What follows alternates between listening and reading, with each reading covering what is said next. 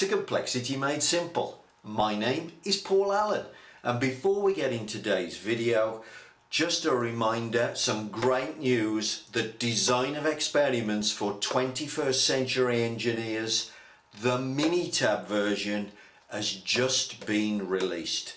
I know for those of you unfortunate enough to have selected Minitab you have a great deal of difficulty in understanding this software so we've created this special version of this text with the Minitab screenshots.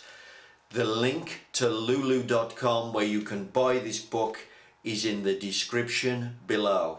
And of course you also have the option of purchasing Drink Tea and Read the Paper which is the perfect book to go with your green belt or Six Sigma black belt training. The link to lulu.com for that book is also in the description below. And of course the other thing that we'd really love you to do, please go to buymeacoffee.com and make a small donation. All of these things, the purchase of the books and the donations, they help keep the channel moving. I'm really grateful to all of those people who are currently donating Many thanks for your support and your help. And now let's get on with today's video. Welcome to Complexity Made Simple. My name is Paul Allen and the subject of today's newsletter, well, we're going to give some advice to green belts and black belts. So it's green belt, black belt advice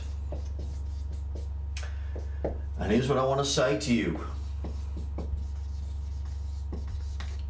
Learn why instead of learn the why instead of the how. Now this is a piece of advice that I give to all of my green belts and black belts and it's about learning about the power of Six Sigma because the why the why is where the money is. Learn why. Now before I go into the details here just a reminder please give the um, the like button a tick before we go any further. Subscribe to the channel. And of course if you want to join in with comments about any any part of this video or any other videos that I've recorded please leave me a comment and if you want me to record anything else please please ask mention a subject and I'll try and do a video for you. For those of you that want to give me a downward tick on this video you're the most important people I want to hear from. I want to know why you disagree with what I'm saying because it adds to the discussion and builds our understanding both for me and for you. So please uh, leave some comments if you'd like to like to discuss any of the subjects that I'm bringing up. So learn the why. One of the problems, especially when you're going to be certified as a black belt or as a green belt, most of the questions that you're going to come up with and all the exams that are formally out there on the internet, they're going to want you to know how. So for example, I don't know, let's just pick a tool. CPK. They're going to want you to know, they're going to want you to know how to calculate CPK or how to calculate CP. Um, and it's nice to know that, but quite honestly, think about it. What am I going to do? I'm going to let Minitab or SPCXL do this. Do I need to know how? Not really. Let's talk about why. Let's talk about why I do CPK. See, and this goes to the heart of all the statistical tools. People learn statistics at university and it bores the pants off them. Why does it bore the pants off them? Because they learn how, they don't learn why. Now, let's talk about why do I want to do CPK? What does CPK do? Here's what it does. Why CPK? It predicts my long term defect rate. It predicts my long-term defect rate and here's the killer with a small sample. So why do you do CPK? Well, here's why. I can take 30 data points and what can I do? Predict the next million that are about to come off the machine. I can predict tomorrow with this thing. It is the most brilliant thing to know, CPK. By the way, it contains standard deviation. One of the things that's in there is standard deviation. Why do I want to be able to calculate standard deviation? People don't understand what it means to calculate standard deviation. What does it allow you to do? Standard deviation allows you to predict tomorrow with relatively small samples. Small amount of data, predict tomorrow. You should never switch a machine on and not be able to predict the defect rate for today, tomorrow, and the next day. Because standard deviation and CPK does that. Now, that's why you need to know this because that's about how to make money from CPK. Why do you do a DOE? Why do I do the DOE? Because it's the fastest way to get knowledge. In other words,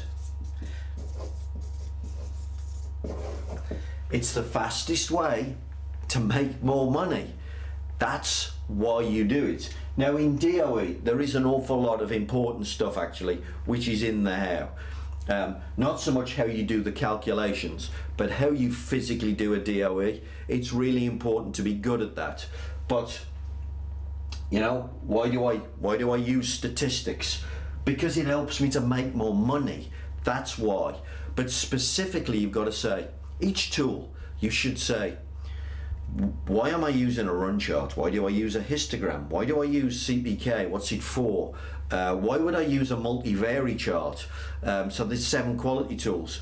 Why would I use a flow diagram and a cause and effect diagram? Why, why, why? How, how, how really doesn't matter. You need to know why because each time you know why, you'll know why you're pulling the tool out of the box. You'll get brilliant at using these tools really well and you will become a money making monster because that's what green belts and black belts are. They have the technical capability to fix any technical problem. That's why they should be highly paid and highly respected. But you will only become a money making monster as a green belt or a black belt if you learn why. Why do I do a proper sample size? Why do I do a t-test? Why do I do design of experiments? Why do I use a statistical process control chart? Why is the important thing? Because why tells you how much money each tool is going to make and what it's going to do for you in your project. What I see an awful lot of green belts and black belts doing, they've learned how to do it. But when they do a project, they don't know which tool to use because they don't know why. You've got to learn why. Take a look at each tool. By the way, too many of the Ready Reckoner little books, you know, Six Sigma for Dummies and things like that, what do they tell you? They tell you how, they don't tell you why.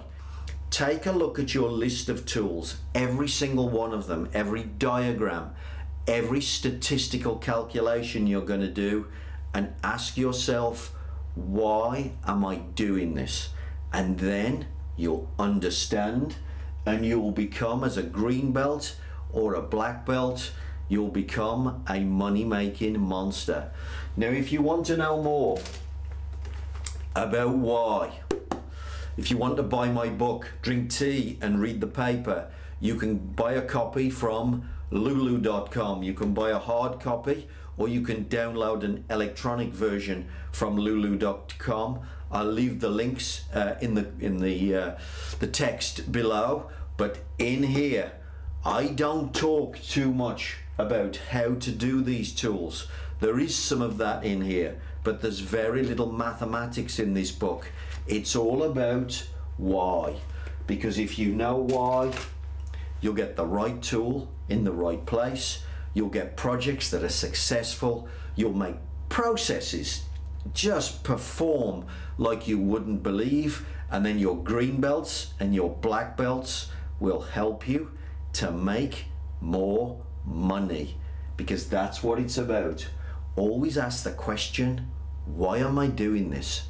Why do I use this tool?